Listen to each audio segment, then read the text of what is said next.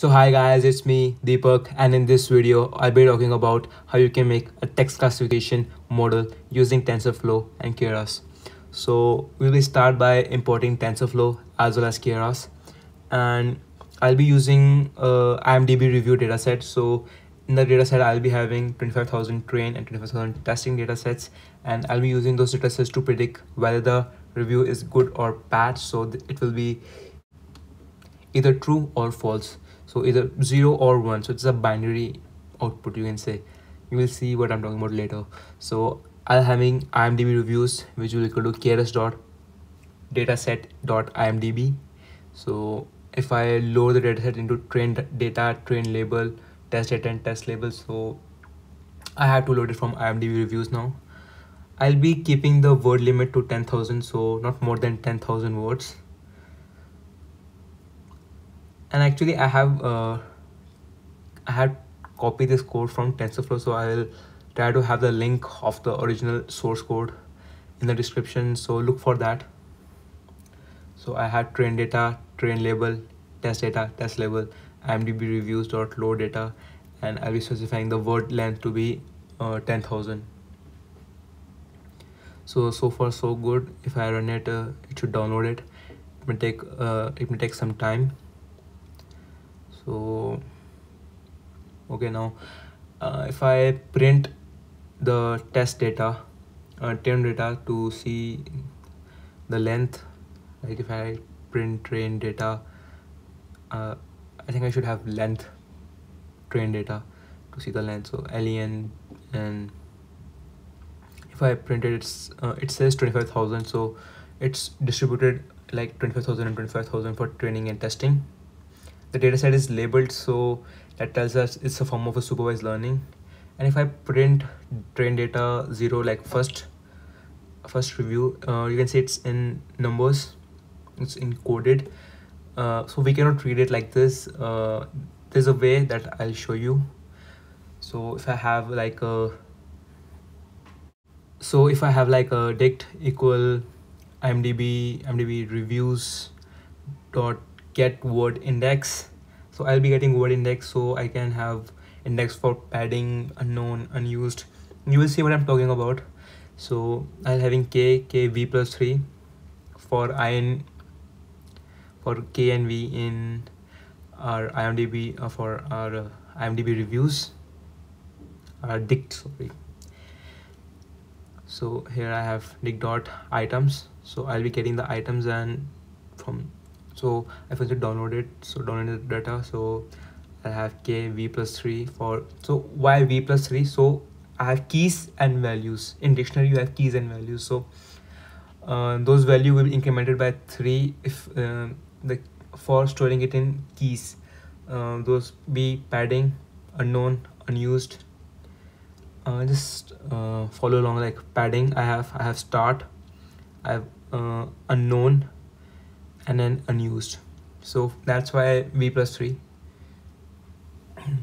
so the purpose of padding is uh, simple because I'll be padding the dataset so that I can have a fixed length of fixed length of words of review because we are training the dataset model and model should have a fixed length of data. So I'll be having 256 but for now I'll be first uh, reversing the dataset because right now words point to the encoded numbers. I want the numbers point to the words. So that's why i have a sort of like a reverse dictionary here. So reverse dictionary dictionary values keys from keys and values. So you can see like i'm i'm reversing those things. So if i have in dictionary uh dot items i think uh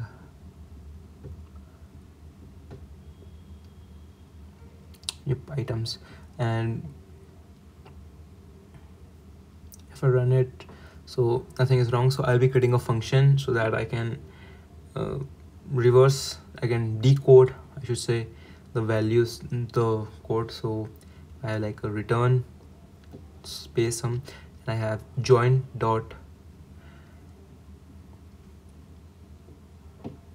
uh, our reverse join dot reverse dictionary and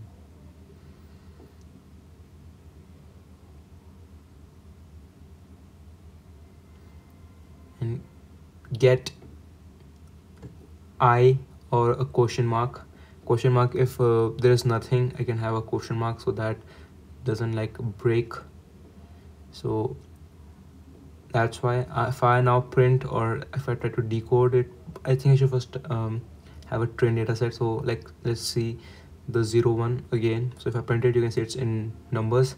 If i try to decode it now so it's a reverse dictionary. So at this time numbers points to the words. So if i decode it from reverse decode get i for, for i in text. So if i send the numbers it will be decoded and you can see this film has so you can see that there are some these uh, values like unknown in some places and start in the first one. So uh, you can see those things that we write in the start like dict pad dict start dict unknown.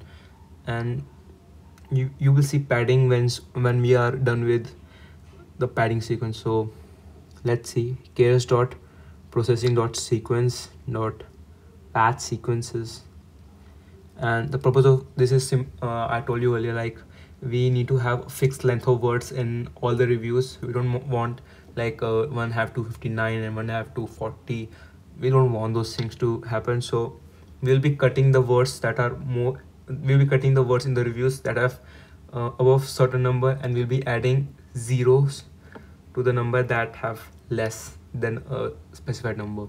So here i'll be having padding equal post after the review is finished i'll have those paddings. So maximum length is 256 as defined. So that's why and if i will printing this uh, thing so right as you can see the data set is in numbers. So when i'm performing this function the numbers will have zeros. So if i print a data set like a data train um let's first see the length. It should be 256 so if i run it it's 256 if i write uh, only the train data uh, set it should show me some zeros.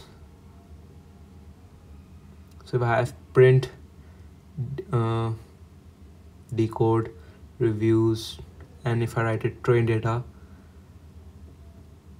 zeros you can see padding in the end. Those paddings if you write the code like print train data zero you will see those things will actually be in the form of zeros. And it doesn't affect the model and it doesn't uh, affect the prediction of model in any way. So that's why we are adding zeros here. So vocab size 10,000 so now let's create a model. A model will have embedded. Embedded will help it to define uh, the words that are similar and the words that are distinct. So will be able to distinguish between good reviews and bad reviews so i having embedded. I have a bidirectional and then let's see. So i have model keras dot layer embedded as earlier. So vocab size will be like uh, vocab size is 10,000 as specified here and if I copy paste it to save some time and now I need a bidirectional one. So it should be a global average what is my average? I'm just averaging the output that i'm getting from embedded embedded embedding function so that uh, i don't have a big data set. So it will average the average the things that it found similar and give us an output. And then I have a dense neural network. So that one is simpler. I I'm using a rectifier uh, ReLU and an activation function for our next our, our uh, last uh, last dense layer which will just be having one neuron that will give us either zero or a one. So so that's why while compiling i'll be using uh, so if you can see the summary here you can see here 16 16 16 and 1 so neurons are in the form of 16 16 16 and 1 i write the model or compile and i'll use the optimizer like adam optimizer and loss will be binary cross entropy cross entropy binary being 0 1 so and have a matrix uh, being accuracy predicting our accuracy. So okay so i think i did a spelling mistake here. So now i think i should just uh, print our results. So i will be doing a part two of this where i'll be showing you the difference between the prediction model and the output and different things. So for that uh, i think you should subscribe to the channel. As you can see x value and x train data will be like uh, these x validation and x training. So we have training data set we have validation data set and we have testing. So uh, i'll be having for labels as well. Labels are necessary and there's one thing that labels are always numbers because it helps uh, using across the globe because some people don't know english some people don't know like different languages like Ch chinese or whatever. So it's easy to have labels in the form of numbers so it can be used across the globe. So that's why the labels are in numbers and if i now evaluate my function model and i have my training data and testing data and testing labels and okay mistake here so it should be test data and you can see the accuracy and accuracy and loss and i'm just training it once. So in the next part i'll be doing like plotting the graphs explaining how different the output is from the how from the predictions. And i'll be actually making i'm making an application that will classify text when we draw it on a phone. So if you want to learn how to build an application like that uh, you subscribe to the channel press the bell icon like the video. And if you have any questions write in the comment section and thanks for watching